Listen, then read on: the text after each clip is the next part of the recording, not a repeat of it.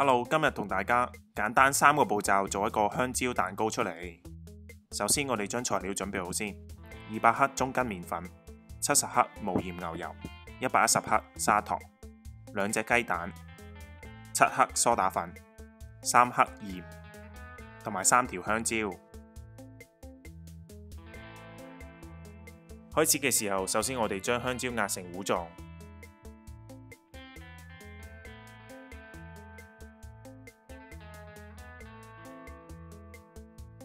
壓到見唔到香蕉粒，我哋就將牛油、砂糖同雞蛋加入去撈勻。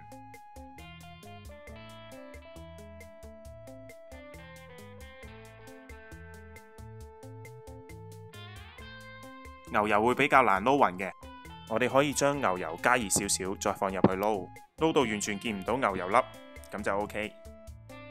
跟住我哋將鹽、梳打粉放入去麵粉度撈勻先。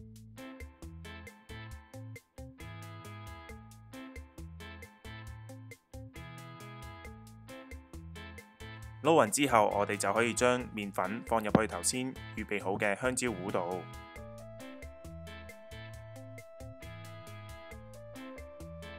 麵粉就咁倒落去就得噶啦，唔使過篩。咁撈呢都冇乜要求嘅，總之撈勻就 OK。最緊要唔好撈過度。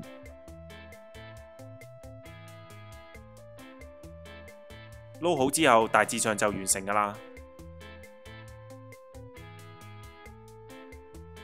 之後就可以倒入去預先掃好油嘅模度，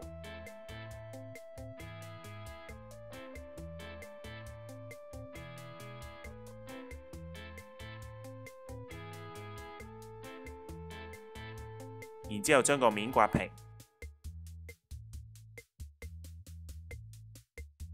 搞掂就可以放入焗爐，一百六十度焗五十五分鐘。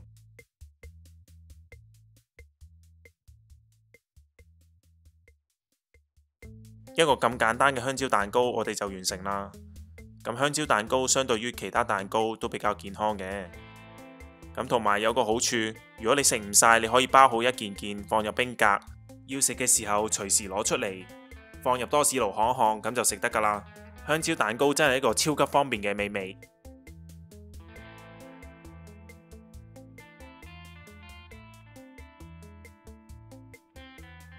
如果大家中意我段片，歡迎訂閱我嘅頻道。